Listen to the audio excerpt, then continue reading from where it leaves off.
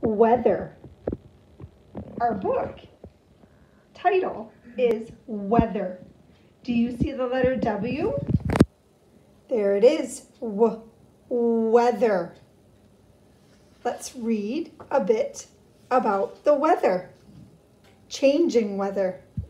The weather changes from day to day. One day it is sunny, the next it is rainy. Weather also changes over many months. Each season may have its own weather. The weather pattern repeats year after year.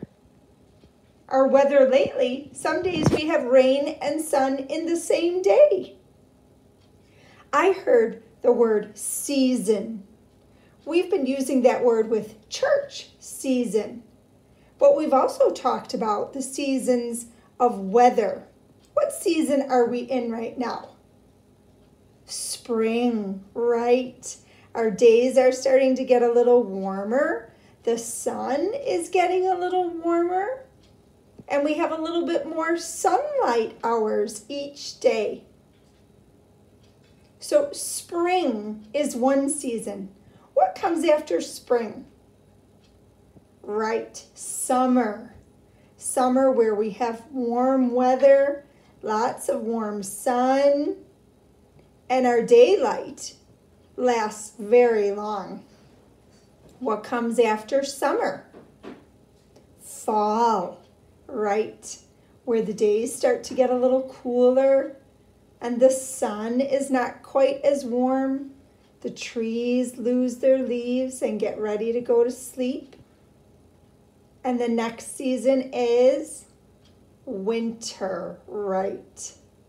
Where we have cold weather and lots of dark nights. All right, let's read about our next season. Spring and summer. Spring is warm and rainy. It's the time when plants begin to grow. Summer is the warmest time of the year. We have lots of leaves in summer. Mm, I do love summer. How about you? What's some more seasons of weather? Fall. What's another name for fall? Do you remember it started with an aw? Autumn. You got it. In fall, the air gets cooler. The leaves of some trees change color. Then they drop off. Some plants stop growing and die. Winter. Winter is the coldest season. In some places, it snows. In other places, it just gets a little cooler. Then spring comes and the pattern goes on, right? Spring, summer, fall, winter. Spring, summer, fall, winter. It does create a pattern of seasons measuring temperature.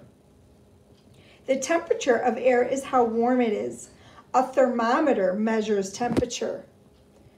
Warmer air makes the liquid go up, just like the temperature goes up.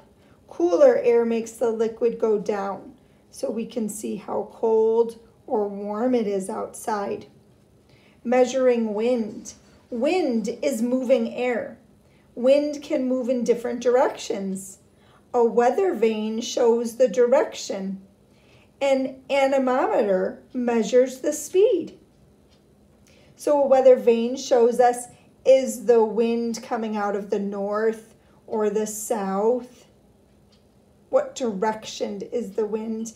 And an anemometer talks about or shows us how much wind there is. Is it very windy or just a little bit of wind. It shows us the speed of the wind. We've had lots of windy days this spring. Measuring precipitation. Water that falls from the sky is precipitation. Rain and snow are kinds of precipitation. A rain gauge measures how much rain falls. And then we also have tools that measure how much snow falls. Droughts and floods. Very dry weather may cause a drought. Look at that. That's a drought when everything is so dry from no rain. Plants may die during a drought. Heavy rain may cause a flood. A flood happens when water overflows. So we've just read about lots of different kinds of weather. What letter does weather start with? W. Good job.